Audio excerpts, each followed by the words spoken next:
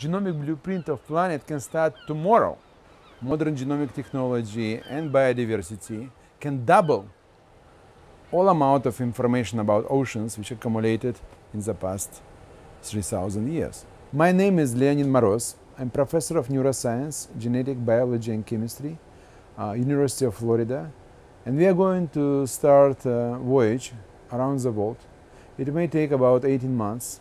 And goal is to sequence DNA for about 80, 70 to 80 percent of species which represent greatest diversity ever existed in our planet before. In the past, whole history of biology, people go to the sea, grab samples, fix them, usually destroy them. It took weeks and years to send it back, analyzed, and uh, in this process, a lot of samples were destroyed and virtually most of the molecular information was lost. We are going to do for the first time in real time. We are going to take intact specimen, not destroy them, in many cases not kill them. We will bring whole sequencer lab directly on the board of the ship within two and a half hours.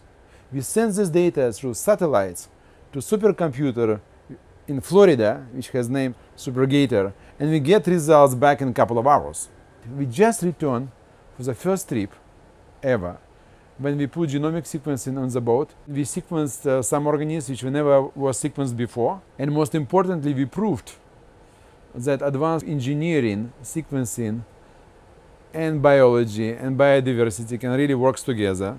You can go to any location or beautiful locations and if you perform, I would say, Star Trek science, and you can get data right away.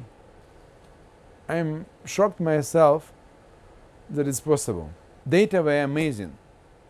We perform in one week 15 sequencing runs.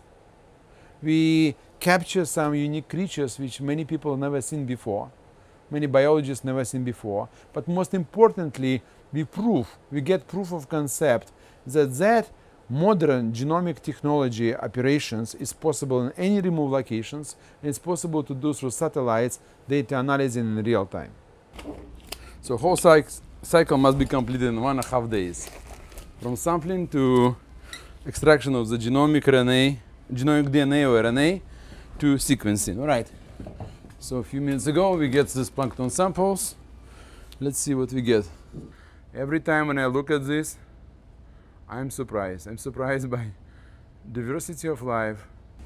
I would say in this dish, so my conservative estimate would be about 400 species. You cannot really bring them in the lab. You cannot keep them alive for more than, I would say, a couple of hours. You probably know that 50% of uh, drugs came from natural products today, one way or another. So thinking about enormous resources just right here in the ocean, we do have enormously wonderful solution, diversity of the solutions, and we lose in species approximately one species every six hours.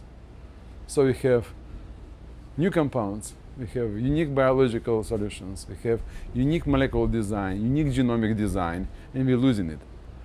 So it's really a heritage, not for us, not only for our planet, for the universe. So for these uh, three particular reasons, we need to bring the genomic to the sea.